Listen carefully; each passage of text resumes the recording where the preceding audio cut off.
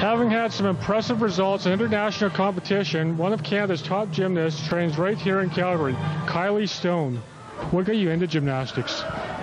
Well, I would always do cartwheels and that kind of stuff around the house, and I had lots of energy, so my dad decided to put me into gym.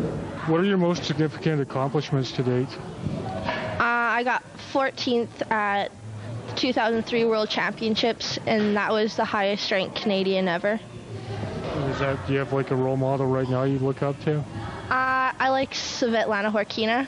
She's the reigning world champion. Who else inspires you?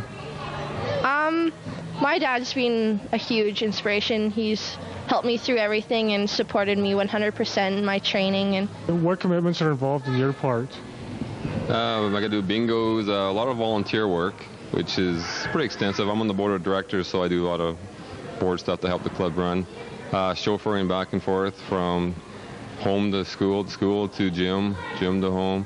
So quite a bit actually, but well worth it. What are the demands being in high school and being a high caliber athlete?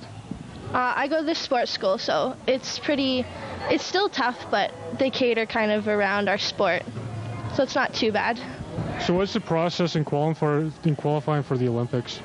Um, our nationals are in June, and that's half of the qualification, and then I think it's mid-July is the actual trials. Is there something special you're doing this year compared to last year in your training? I'm trying to work more on consistency.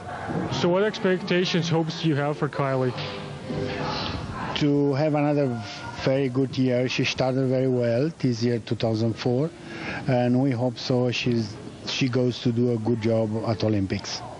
So with this being an Olympic year, Kylie Stone is hard at work. With New TV Sports, I'm Jeff Townsend.